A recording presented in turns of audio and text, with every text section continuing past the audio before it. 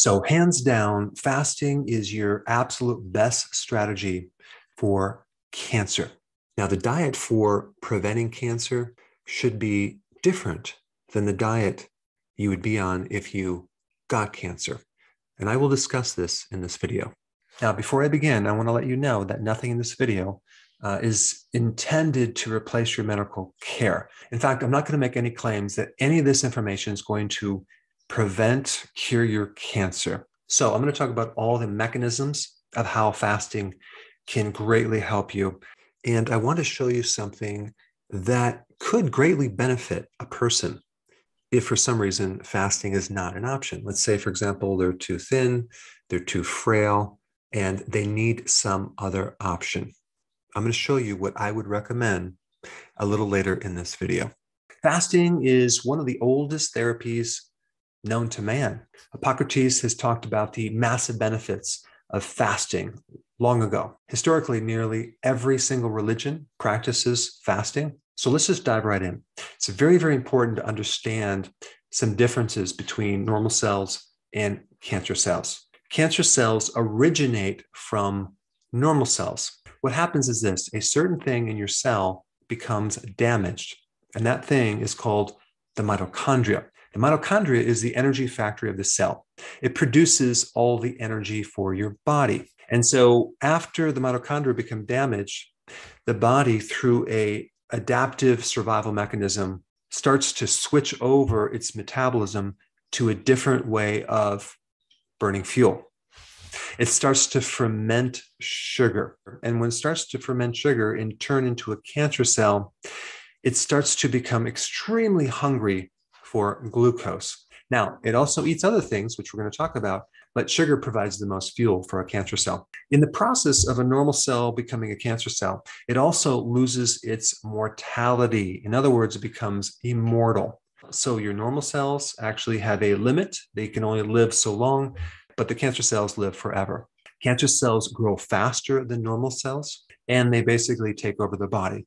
So, the first mechanism of fasting in relationship to a cancer cell is that fasting helps to starve off the fuel. It starves off your glucose because guess what? You're not eating anything. So, no eating, no glucose. And so, you help to prevent feeding the cancer cell. Now, this was discovered by Professor Otto Warburg, who won the Nobel Prize in Medicine. Now, in extreme conditions, normal cells can temporarily ferment sugar as in a severe infection like sepsis or a severe uh, pathogen invasion in your body or an intense exercise or trauma, your body can switch to ferment sugar. So, this mechanism is a survival mechanism for fuel. All right, that's mechanism one. Number two, certain cancers can also live on an amino acid called glutamine, as well as another amino acid called arginine. Now, the problem is glutamine, which makes up certain proteins, is very widespread. It's in a lot of different foods. So when you fast, you're not consuming glutamine. So you're going to deprive the cell of this other fuel. There are certain um, therapies out there right now that are using medications to block glutamine. And one is called DON, which is a glutamine inhibitor. There are also natural glutamine inhibitors as well.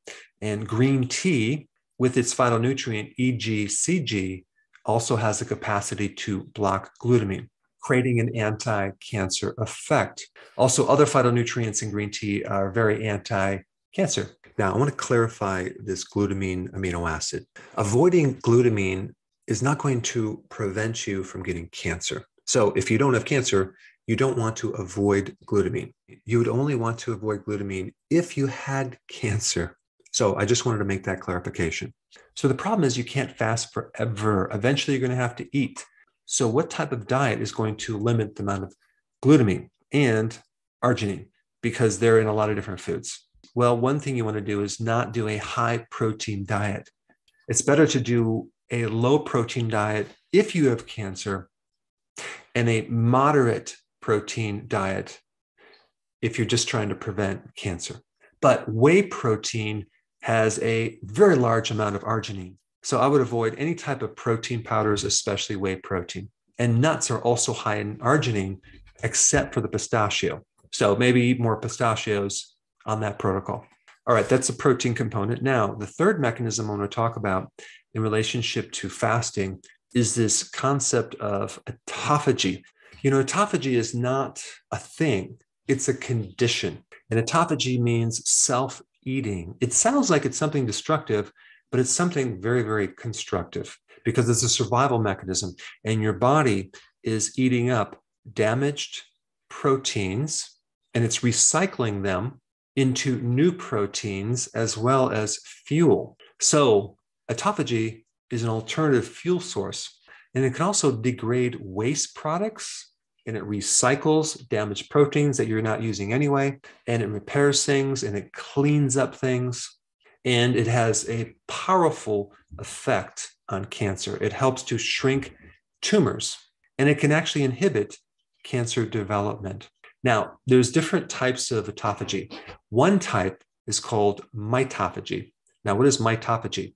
That is autophagy for the mitochondria. So your body goes in there and it starts to clean up the mitochondria that are damaged. Remember, I talked about the cause of cancer is damaged mitochondria? Well, when you fast, you increase mitophagy. Also, autophagy is a very potent anti inflammatory mechanism. So you're going to drop inflammation. And the thing about inflammation is that cancer tends to spread into inflammation. And this is why people tend to develop cancer in areas of old injury and areas of inflammation. So it's very, very important to keep inflammation at a minimum. Now, this next point is very, very interesting.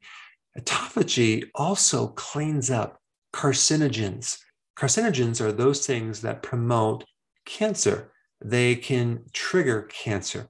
That would be like pesticides, insecticides, herbicides, fungicides. Now, radiation can also trigger cancer, but autophagy is not going to clean up radiation. Now, there's another piece of this that is very, very important. There are certain conditions that damage your ability to perform autophagy. So, those things are obesity, drinking a lot of alcohol, being a diabetic, viral infections, having a fatty liver, having chronic inflammation. All of these things in a chronic nature will increase the risk of cancer because there's less autophagy. And if you haven't guessed it, the biggest thing that triggers autophagy is fasting. All right, the next point I want to bring up, number four, is your immune system, what fasting can do to your immune system. And this is very, very important to bring up because the two main things that they do for cancer are chemotherapy and radiation therapy. Both of these things destroy your immune system. So, your immune system is really a key factor in preventing cancer as well as directly treating cancer. Your immune system has several mechanisms to kill cancer both directly and indirectly. So the killer T cells can directly kill cancer cells. The helper T cells can indirectly recruit certain white blood cells to kill cancer. And the real amazing thing about fasting is that fasting triggers your immune system stem cells in your bone marrow to boost up your immune system and even regrow an immune system that is damaged and when people do radiation therapy and chemo, adding fasting to that protocol can decrease the side effects from radiation and chemotherapy, as well as enhance the effectiveness of chemo and radiation therapy. Now, the reason why the medical profession does not recommend fasting in place of these other therapies that have side effects is simply because they would either lose their license or go to jail because the way that the laws are written, if you're a medical doctor, you have to practice medicine and there's certain protocols that you have to follow. So you will never see fasting as a primary uh, initial therapy. It will always be used uh, as an adjunct to medications. Now, I want to touch on the fifth mechanism hormones.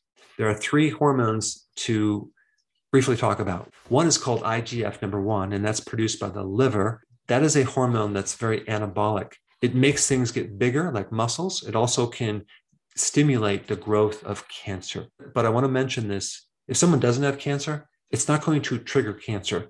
It's only when you get cancer that the IGF number one can cause cancer to spread. So fasting decreases IGF number one. The next hormone, insulin. Okay. Insulin is also an anabolic hormone. Insulin has been known to increase the risk of getting cancer. And in the presence of insulin, the benefits from fasting go way down to zero. So, a lot of the benefits from fasting and autophagy occur when the insulin is low. In fact, you can't get into fasting or autophagy without first lowering insulin. So, keeping insulin low is a very, very key thing. And then we have estrogen. Estrogen in excess can trigger breast cancer and cancer of the uterus and cancer of the ovary. There are certain chemotherapies that block estrogen production. So, anything that can increase estrogen is something you want to limit if you're trying to treat cancer and prevent cancer. Like milk, you want to limit dairy if you have cancer. Soy products, soy is very estrogenic, especially the soy protein isolates. Birth control pills are estrogen. Hormone replacement therapy has estrogen in it. So, of course, if you have cancer and you're taking birth control pills and hormone replacement therapy, probably not the best idea. Now, iodine from sea kelp is a wonderful natural remedy to help balance your estrogens. It's really good for things like fibrocystic breast or ovarian cysts. And then you have DIM, which is a concentrated cruciferous product that helps to reduce estrogen in your body. And because it comes from cruciferous, it's anti cancer. One mechanism being just lowering the amount of estrogen. All right, mechanism number six, and I've already talked about this a little bit inflammation. The more you can cut down inflammation, the less risk you have for cancer. Cancer follows inflammation. A lot of people develop cancer in areas of old injury, areas of inflammation. I remember in, when I was in practice, uh, one lady had cancer in a certain part of her breast. And I asked her, Have you ever injured that part of your breast? And when she thought about it, she remembered having some trauma in that exact location. Another uh, patient came in with uh, cancer of the brain stem. Okay. I asked him if he ever injured the brain stem. He said no, but I did fall off of a roof once and I landed on my head. I said that would be injury to your brainstem. But out of all the things that can rid inflammation, fasting is at the top of the list. And fasting also can boost the antioxidant networks that you have in your body, thereby minimizing the free radical damage and lessening the damage to the mitochondria. All right, now we want to talk about the, the seventh mechanism here in relationship to fasting, which brings up this other topic and that is ketones. You now know that cancer can live on glucose and two amino acids, glutamine and arginine. But unfortunately, ketones can provide cancer with the cellular membrane structure that the cancer cell needs. So, in other words, just because someone's on a ketogenic diet and they're low in sugar does not bulletproof them from getting cancer.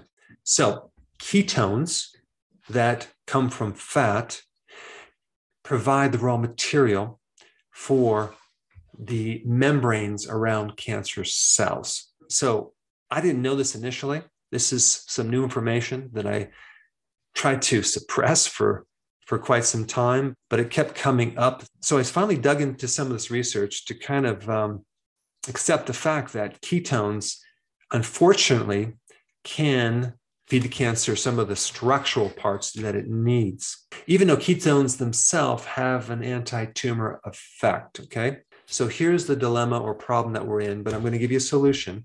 If we can't eat carbs and we're and we're not supposed to eat much protein, and now we can't eat fat, what the heck can we eat? We can't fast forever. Now, I've mentioned in other videos that I am doing some research or supporting some research in Europe related to a non toxic way to block ketones. And even some of you have supported this research, which you probably have gotten an email on the updates. But this is very exciting research and so far, so good. And even though this research is being done in mice, you always start with mice before you do human studies. So, this is based on some very interesting data about cancer cells versus normal cells. So, with cancer cells, there's really only one door for ketones to feed its membranes. Okay, there's just one door, one chemical pathway. And if that chemical pathway was blocked, you could potentially starve off the cancer from getting any raw material for its membranes. But the question that came up from that is what about normal cells? Do they just have one door? No, they don't. The membranes from normal cells can come from fatty acids, not just ketones. So the goal is to block this door, this chemical pathway that is allowing these ketones to make membranes for the cancer cells. And this door is called SCOT, which stands for a very long chemical name, which I'm not going to give you at this time. And there just happens to be SCOT inhibitors, okay, both in the medication area as well as using natural things that have less side effects. And that is the area that we are evaluating right now, doing studies in Europe on mice, and so far with great success. So the following SCOT inhibitors are the ones that are showing the most promise. Number one, we have alpha lipoic acid. Number two, Garcinia. Then we have red algae, and then black seed oil, and then garlic. Okay. Garlic handles a slightly different, it's called a salvage pathway, which I'm not going to get into now, but garlic is very, very important. These are all SCOT inhibitors that work synergistically to help starve the cancer of its raw material for its cellular membranes. Now, if you want more details on the strategy, there's some additional studies which are quite fascinating, and I put those in the description below. Now, before I get into the dosages, I just want to let you know I'm not making any claims this is going to cure or prevent any cancer. This is a protocol that I would take if I had cancer. Okay. All right. Alpha lipoic acid.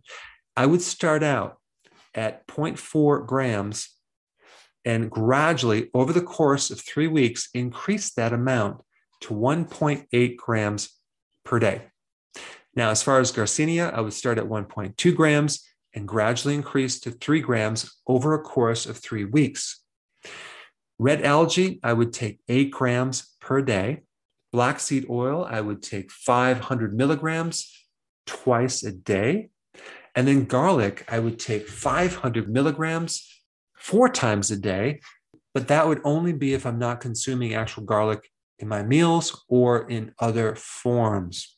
So this protocol is designed to shut that door so this pathway called SCOT cannot be an option for the cancer to get its raw material for its membranes. Now, another question that you might be thinking about the ketogenic diet increases ketones, but fasting also increases ketones even more than a ketogenic diet. So, how can fasting help someone with cancer if it's feeding the cancer cell ketones?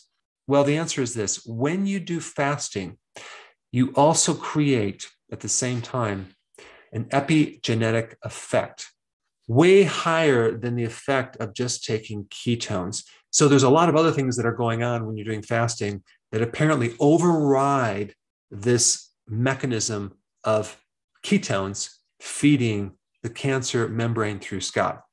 All right, let's talk about the fasting protocol. There's two different protocols. One is for prevention. And I'm going to tell you right now the best thing you can do right now is to do whatever you can to prevent cancer because once you get cancer, you have the medical profession who is giving you all this information and putting the fear of God in you that you better do this and you better not do this. And it's a massive confusion. Not to mention friends and family giving you their two cents, not to mention the fear of having cancer and unsure what to do. So, at a very minimum, you want to be doing 16 hours of fasting and have a eight hour eating window.